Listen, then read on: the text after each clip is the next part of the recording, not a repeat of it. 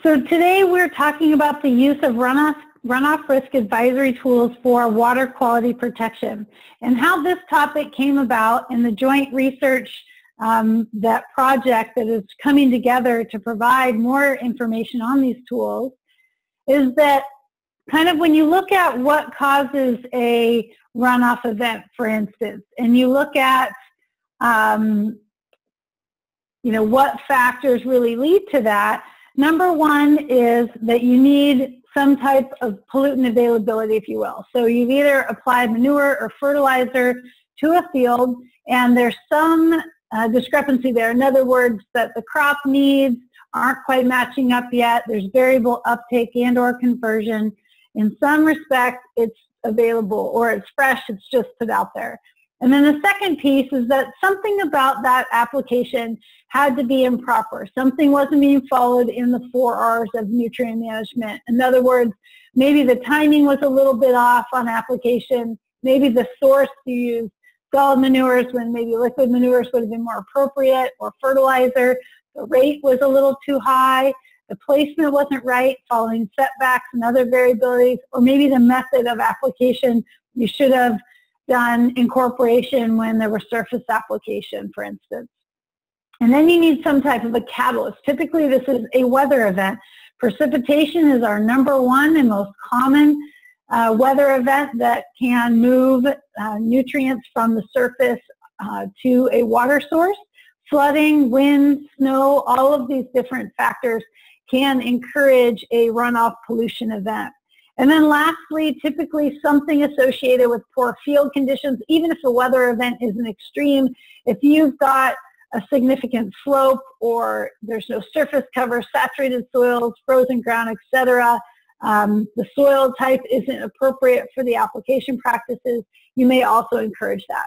So thinking through all of these factors together, we needed something to help producers, uh, landowners, applicators figure out when is manure, fertilizer, nutrient application appropriate and when is it not. And there's a few different tools available to look at this. One, and we're going to hear about all four of these today. One is the application risk management system uh, that was created out of Washington that is a real-time manure spreading uh, advisory along with the field worksheet. The runoff risk advisory forecast created out of Wisconsin. It's a decision support tool very similar that is a runoff um, kind of visual advisory giving information on timing. The fertilizer forecaster uh, developed out of Pennsylvania, still under development. This is also a decision support tool for determining when nutrient management um, opportunities that identify the relevant, relative probability of runoff or infiltration events, how those things correlate. And lastly, the saturated area forecast tool created out of Virginia that's based on the SWAT model framework that uses terrain-based metrics to look at, identify runoff generation and soil moisture. So all four of these tools are trying to get to different aspects of how do we reduce runoff, how do we provide information to producers, landowners, and applicators so that they can limit those issues. So we all came together and uh, with a CIG grant entitled Demonstration and Implementation of a Nutrient Management Risk Advisory System for Protection of Water Quality in Runoff-Prone Climates. Um, all of us came together to see if we can combine or um, use the best parts of all of our tools together to provide a platform for national adoption of some type of a runoff advisory tool. And you can see the list of project partners, it's quite a lot of folks who are all participating in this project in various ways. And we're hoping by September 2018 that we've got something um, to get out and show what's going on. And just so you know, some of the objectives of this larger project are to quantitatively and qualitatively compare the existing runoff advisory tools for their strengths, limitations, and integration together, to coordinate those efforts to develop a runoff risk advisory system interface that can be adapted and implemented to applicable regions of the U.S., developing a supporting educational documents and framework to support adoption and implementation of that advisory system. And lastly, hopefully to transfer those tools and that platform out to applicable areas of the U.S. So please look for this in the future. If today, if these advisory tools, if this you don't have something in your area already and you're really interested in that, feel free to get a hold of any of us so we can keep you on the list. But you'll see more information about this project come out in the future. And if you do want to see more on the tools presented today and a couple others, we put together a comparative paper. Um, Zach Easton was our primary author on that that was published in Journal of Environmental Quality just recently. You can get the online version. Journal date is pending in a special issue, but just so you know. So to talk um, about the first tool today, I'm going to discuss the Washington tool, which is a, a runoff advisory system. Uh, we call it the ARM, or Application Risk Management System for Water Quality Improvement. So just to give you a quick little idea about our area and see how it compares to your own, um, Whatcom County, which is what's shown on the map here, is the northwesternmost county in Washington state, above Seattle and just south of the border here. You can see that on the line on the map here. And the points I just want to uh, put across here is you see the blue lines on here. Those are our major uh, surface waters. And there's a lot of little tributaries going into that. And all of these, we've got a lot of different land uses here. We've got a big aquifer in this area. Uh, we've got um, dairy and livestock, uh, crops, berries are some of our major land, user, land uses. And at the mouth of all of this water, we've got a lot of shellfish production. We've got salmon that come upriver and spawn, and we of course have natural resources. So we've got a lot going on in this area. And our primary average monthly precip, you can see that the majority or 75% of that rainfall falls between about the beginning of October till what feels like now. It feels like we don't get summer till July, but uh, till about mid-April. And during that time, if we look at when manure application, which is our primary use as well as fertilizer in some of the early season for uh, crops and berries, is a lot of that happens about 65% during that majority annual rainfall period. So what this sets up is the potential to have really big runoff events that will carry manure nutrients and fertilizer nutrients into our watercourses. And our monthly sampling in this area shows that yes, that actually does occur and it is and can be a really big issue. So we needed some type of a tool that went along with our static nutrient management plans, a dynamic decision support tool that producers could look at that morning or the day before and say, should I be out tomorrow applying or should I not? When can I schedule this ahead? So we looked at that in our five steps of manure application would be to first calculate agronomic rate, know how much you need to get out there, identify those optimal fields using risk maps that we create for people, determine when to apply, this is the use of that manure spreading advisory that I'll show you, assessing field conditions that even if the forecast looks good, your field may not and vice versa, to look at an application risk management worksheet, and lastly, to apply and monitor your field uh, with seasonal manure setbacks. And it's step three and four that I'm going to really go over today that is the use of this tool that was developed in our subject of today's webinar. So the manure spreading advisory, we started by creating it just in our little segment of Whatcom County, which you can see over here on the right side of this map. And then we decided, well, all of Western Washington would probably be um, useful. We all have a very similar climate, a lot of seasonal rainfall, very dry summers.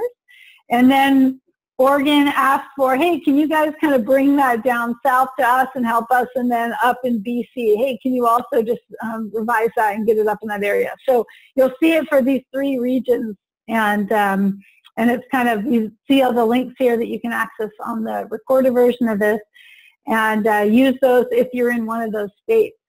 So how this looks, and I'll show you our Washington version here, is that this is a real-time runoff advisory. It provides a three-day risk forecast. In our area, the forecast uh, precipitation base outside of that becomes um, not very accurate. And so we wanted to ensure that we were catching a window, which about three days is pretty appropriate for any type of land application. And then when our risk is still very high after that, um, that window seemed pretty appropriate, and if we went beyond that, we felt like the uncertainty is very high, the accuracy is a bit low, and people didn't trust it or use it. So this was a good time frame for us. auto-updated forecast from NOAA every day uh, so that this is automatically doing its thing. And this is a decision-making tool. So producers can use this, look at it, and decide, should I go out, should I not? It's not a regulatory tool. It's just a decision support tool. Color-coded for easy use, kind of the stoplight method. Green means go, red means no. Uh, and this has a link to the ARM worksheet for our field risk assessment. You can access this if you want to go check it out later at wadairyplan.org slash MSA. And when someone accesses the map, they'll go to it, zoom into their location, click on it, and get this pop-up, which will have a couple extra informational pieces like seasonal setback distances, uh, the current runoff advisory, you'll see that here in three days, the precipitation forecast in 24-hour and 72-hour blocks, and then a link to the field risk assessment worksheet. And one thing that we also did on here, why we have some of this information extra, is that it also fulfills record-keeping requirements that landowners and producers are required to do. So we felt like that was really nice to have some extra pieces for people in there to ensure that they're getting everything they need. So the worksheet, um, this is filled out before application, and this was a way that we could provide a runoff risk advisory by field and day. The other one, as you saw, were kind of large isoplaster areas that were based on precip forecasts, and this was the best way for us to get down to a very low specific level. It also affords some record keeping and accountability for folks, which is also great. Um, and it is based on four years of research that we did to look at, you know, what parameters should be in here, what are the thresholds that would create low, medium, high risk, et cetera. And then at the end, the combination of all those points, if you will, how does that produce a low, high, or medium risk, et cetera.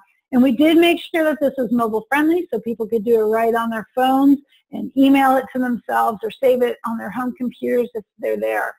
So just so you can see what parameters are in here and you're welcome to go through this on your own if you want to just see how it works and what it looks like. Uh, the biggest things that we captured were, of course, the precipitation, which autofills right from that manure spreading advisory. Their soil type, this has a very significant impact on soil moisture and water holding capacity. Of course, the soil moisture itself, water table depth, forage density, so that we know is this a bare field, do we have a nice stand of grass, what is that increased risk of water movement, forage height correlates to that.